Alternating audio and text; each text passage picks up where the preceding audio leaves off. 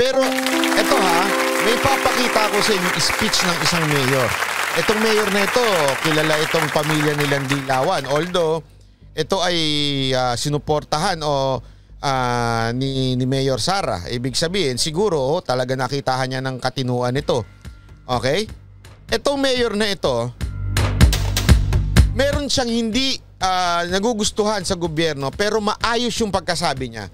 Maayos at maganda. Yung alam mong iniisip hindi politika ngunit solusyon. Okay?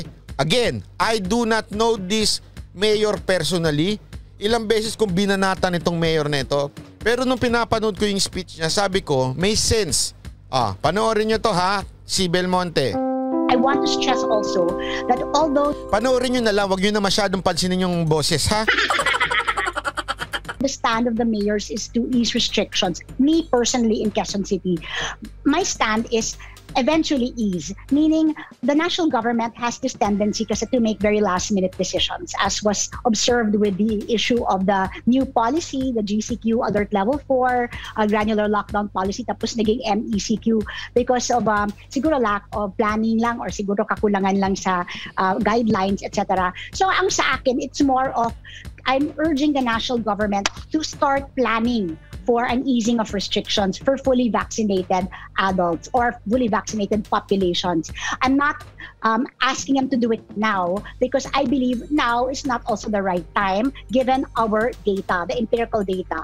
Dito sa Quezon City, lahat ng metrics tumataas. Tumataas ang daily active cases. So ito, regarding sa restriction, medyo against siya pero hindi niya yung hindi katulad ng banat ni Isko. Nagi, nagigit si ibig ko sabihin. Yung banat ni Isko, parang siya lang ang bida. Sila, siya lang yung magaling. Ito, sinasabi niya na wag muna ngayon, pero planuhin na. 'di ba? Planuhin na para pagdating ng in, in the future na hindi tayo magpapabago-bago, maganda yung gagawin. Okay? Isipin nyo ha, against siya sa nangyaring pabago-bago. Pero nagbigay siya ng suwestyon at hindi niya pinuna at sinisi yung goby- national government. Sabi ko nga, pwede ka naman maging against. Pwede ka namang uh, hindi sumang-ayon sa national o sa IATF. Pero yung pagsabi mo, eh may suwestyon ka, hindi ka yung para pumuna ka lang, na ang bida-bida ikaw lang. 'Di ba? Alayo ang la, sabi ko nga alayo nito kay Isko. Sorry ha. Pagpasensya nyo na ha, pero kasi pum I'm not saying tama yung sinasabi niya ha. Hindi yon ang sinasabi ko. May kanya-kanya tayong opinion patungkol doon. Ang sinasabi ko lang, pwede ka naman maging ano eh, uh, hindi mo gusto yung nangyayari sa IATF pero since ikaw ay mayor, hindi mo hindi puro banat. Kung ikaw vlogger, banatan mo ng banatan eh. Vlogger ka, yan ang trabaho mo eh. Okay? I mean, ano ba eh, kung ikaw isang uh, opinion maker, okay yun. Pero kung ikaw ay isang mayor, hindi ikaw mayor because elected ka, hindi ganun. Okay? Na parang sikat ka kasi mayor ka, hindi ganun. A mayor is a public servant. Ibig sabihin nun, ikaw ang gumagawa ng mga solusyon. Ikaw ang magsasaayos doon sa ground. So dapat, pag ikaw nagsalita, hindi mo pinupunay national government na parang galit na galit ka lagi sa national government dapat sinusolve mo yung mga problema. Ay, sa tingin ko, ganito dapat ang gawin. Dapat ito ayusin natin, pag-usapan na natin as early as now kung paano natin gagawin yung granular lockdown na yan. Ito, tingnan mo. Uh, I mean, again siya ah. Pero maayos naman. Namin. Tumataas ang average daily attack rate namin. Tumataas ang reproduction number namin. Tumataas din ang positivity rate namin. No? So, the metrics are all going up. Therefore, ang aking, ang, ang aking tunay na apela is sana yung national government can already start preparing for easing of restrictions once this downward trend uh, begins to be observable para hindi na naman last minute uh, na nagkakadara uh, pa tayo kung ano yung policy ba natin tapos magka... Oh, eto pa, tingnan nyo yung point dito ah. At least, pag napakinggan mo ito, hindi mo isipin na ang yabang nito. Akala mo naman kaganda nung lugar niya. Hindi, di ba? Wala ka may isip na ganun. Bakit? Hindi naman kasi siya nag, nagyayabang na maganda yung lugar niya, maayos sila. Ang sinasabi niya, oh sige, ayusin lang natin para pagdating ng time na bumababa na yung trend, pwede na tayo maganito. Tama, di ba? Hindi katulad si Isko, pag nagsalita, akala mo perpekto yung Maynila. Akala mo talagang nagbago na ng uh, ah, 180 degrees yung Maynila. Di ba? Akala mo, wow, wow ganda. Ah, ganda ba dyan? Hindi, parang ganun eh, di ba? Parang akala mo napaka-perfect nitong mayor na ito. Perfect ba? Na-perfect mo na ba yung lugar nyo? Ayos mo na ba para magsalita ka ng ganyan? Alayo mo sa Davao. Hindi, sorry pero alayo mo kay Pangulong Duterte sa pagbabagong ginawa niya sa Davao. I'm not saying ha, mga taga Maynila, baka i-chop-chop na naman ito nitong may saltik na hotdog na ito. Ha? Hindi ko sinasabing binababa ko ang Maynila. Ang sinasabi ko, it's from where you came from. Kung saan ka galing. Ang laki na ba nung distance? Okay? Or, kasi ganito eh. Halimbawa lang, bibigyan ko kayo ng sample. Ha? Kunwari lang, ang bigat mo ngayon is 150 kilo, ah, uh, kilos, 150 pounds. Okay? Pumayat ka ng, uh, sabihin na nating naging 145 ka na. 145 pounds ka na. Okay? Ang comparison nito ay isang tao na ub- super obese. Ano? 250 kilos. Ay, kilos, pounds, sorry. 250 pounds. Tapos, ngayon, 145 pounds na siya. Sino masahangaan mo doon? Oh, pareho silang 145. O sabihin mo na, sige, sige, sige, sige, sige. Gawin na nating 180.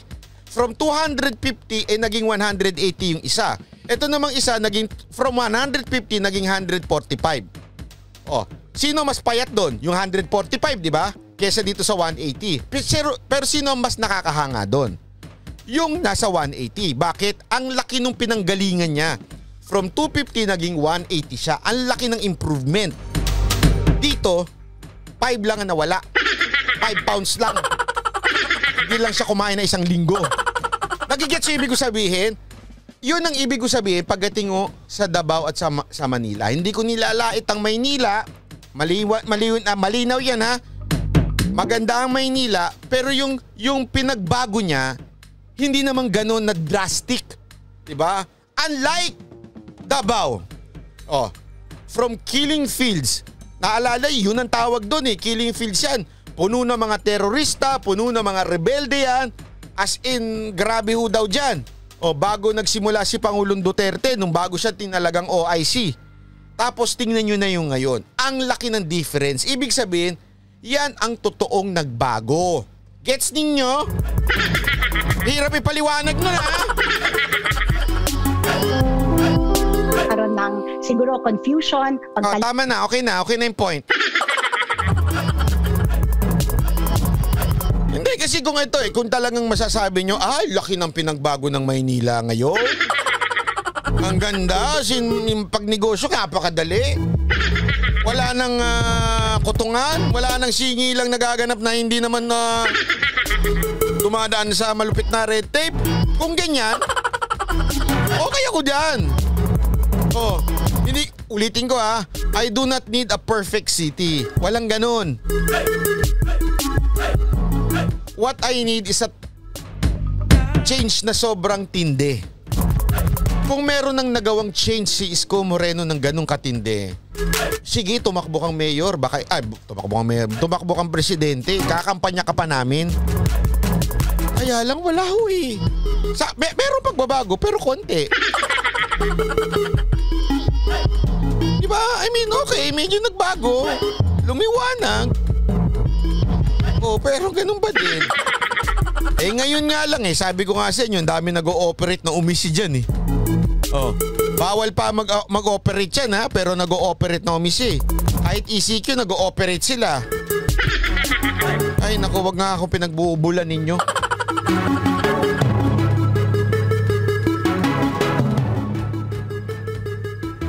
Sabi may nagbago pero bumalik sa dati. Eh kasi nga yung nagbago nung una, binidyo lang yun first term pa kasi dapat tapusin niya three terms. Actually, yan nga ho yung paulit-ulit nating sinasabi. 'Di ba? Na sana tapusin mo muna yung tatlo mong term at timbangin natin from the first term, kasi ako eh, ganito lang eh. Ah, sabihin ng palusot ng iba, eh, sandali lang. Tatlong taon pa lang si Isko dyan, ang makahusga naman kayo. O di ba, sasabihin ng iba dyan, "Te, tatlong taon pa lang yung mama, paano naman magbabago ng ganun si Pangulong Duterte? Dekada na. eh, yun na nga ang point. Tatlong taon pa lang yung mama, gusto nyo nang gawing presidente? Sabi ko nga sa inyo eh, oh, oh, sabi ko nga sa inyo, tapusin niya yung tatlong term niya, tapusin niya talaga yung sagad na sagad na term niya, at pag nagbago talaga ang Maynila, mangunguna ako sa pangangampanya sa kanya, oh. oh. Yun ang point doon. Mangunguna talaga ako. Eh, ang problema, tatlong taon pa lang, ambisyoso naman masyado. oh, lipad na! Oh, lipad ka na, Agila! Kapal naman ng mukha. Alam mo, ito ah, ako naaawa din ako minsan kay ano eh. Naaawa din ako minsan kay Isko eh. Alam niyo kung bakit? Feeling ko naman, alam niyang hindi siya mananalo. Pero dahil sa bulong ng mga taong nasa paligid niya, lalo na yung mga umuyong niyang vlogger, Ah, hindi, kaya mo yan, sikat ka na. Tingnan mo pag nag-live ka. Sikat ka na, okay ka Brad, panalo ka sir. Alam mo, Isko Moreno, makinig ka sa akin na mabuti ha. Lahat ng mga nasa paligid mo, sigurado ako sa'yo, ha? Sigurado ako, pinupush ka na lang maging presidente, tumakbo ng presidente. Alam mo kung bakit? Kasi makikinabang sila pag nanalo ka. Marami dyan yung talagang, oh sige, takbo ka, mananalo ka. Uy, mga ganyan. Oh, kasi may, may, meron silang pakinabang. Pag nanalo kang presidente, appointee na kaagad sila. Oh, kanya-kanya ng project yan. Eh, ang problema, minsan no, ang mga taong masyadong mal- mataas ang lipad, pag lumagpak, bali. Baling-bali ang katawan. Kaya sana ho, Mayor, bago ho kayo maniwala sa mga nakapaligid ninyo na gusto lang ng dagdag na trabaho sa kampanya at para may kitain. Kasi oh, mala- ma- mara- malaki hong kitaan dyan sa mga kampanya na yan ha. Hindi totoo, wala akong biro ha. Sabi nito ni JM Escalda, si TP walang banat kay Isko. Uy, di nga, ganyan talaga, walang banat si Isko kay si TP. Di ko alam yun ha. Bakit naman? Hindi, sa totoo lang, alam nyo kung bakit yung ah, iba tinutulak talaga si Isko? Kasi for sure tayo dyan. For sure ako dyan na marami dyan ang gusto lang ng trabaho ngayong kampanya. Kasi ito ha, hindi ko sinasabing ano ha, gagawin ng mga nakapaligid ha, pero ginagawa ito sa lahat ng mga politiko. Paano? Even, even kay Mayor Sara Duterte, di ba, may nagpapatulak-tulak sa kanya na run, run, run. Pero merong gumagamit ng pangalan niya para sumingil ng, ng ah, pera. Alam niyo yun, di ba? Oh, 'di ba? May mga ganon. Hindi ko sinasabing ah, may kasalanan si Mayor Sara Duterte. Hindi ko rin sinasabing kasalanan din ni Mayor Isko yung part na yon. Hindi. Pero yung mga nagtutulak-tulak minsan na yan, ah, yung mga sige takbo ka, takbo ka, kasi sila mismo naghahanap ng funder. So, ah, sabihin nila, malapit ako dito kay Mayor ganyan. Malapit ako sa puliko- politika na ito. Tatakbo itong presidente. Suportahan mo, Brad. Pag di mo sinuportahan yan, sige ka, pag nanalo yan, yari ka. Suportahan mo. O ikaw naman, mayamang negosyante, suporta ka ng, kunwari, 2 million. O, yung 1 million, doon sa gumitna. At yung 1 million, napunta doon sa totoong dapat puntahan. Kaya yung iba, basta malapit sila, gusto nilang i-push. Okay yan, takbo ka, takbo ka dyan, panalo yan.